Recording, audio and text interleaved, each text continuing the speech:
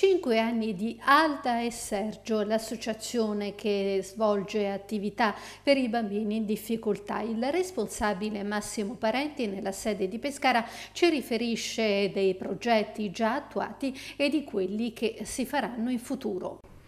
Beh, abbiamo già in atto un progetto che ci vede impegnati con altre associazioni, fa parte del servizio civile, siamo abbinati all'associazione Emozioni di Francavilla, una, una stupenda realtà, ci ha fatto piacere conoscere e con la quale condivideremo, condivideremo un anno di attività.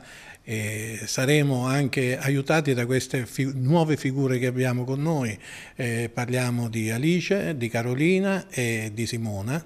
Sono le tre ragazze che ci sono state affidate dal servizio civile.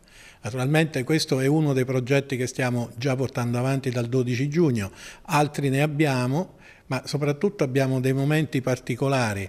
Eh, avremo modo eh, il 25 di questo mese di portare 15 bambini dalle parti di Caramanico, parliamo della Valle dell'Orfento e parliamo anche del villaggio Avventura, sempre in zona. E parliamo di bambini che hanno delle necessità, necessità particolari che soprattutto sono quelle economiche che si riscontrano nelle famiglie.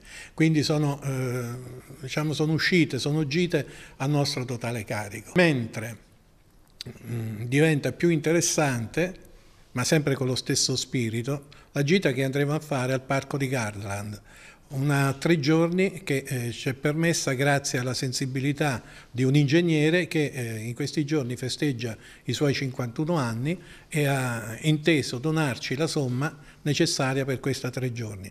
Ma più che altro eh, a noi danno quell'impegno necessario per poter dare valore a quello che fa l'associazione, per essere sempre presenti e, per, e perché? perché se esistiamo dobbiamo anche far vedere che qualcosa vogliamo dare agli altri, non possiamo esistere solo sulla carta ma dobbiamo essere presenti. Difatti il progetto che va avanti con il servizio civile ci verrà impegnati anche nella ricerca di generi alimentari, di vestiario, di, di punti di incontro con altre associazioni.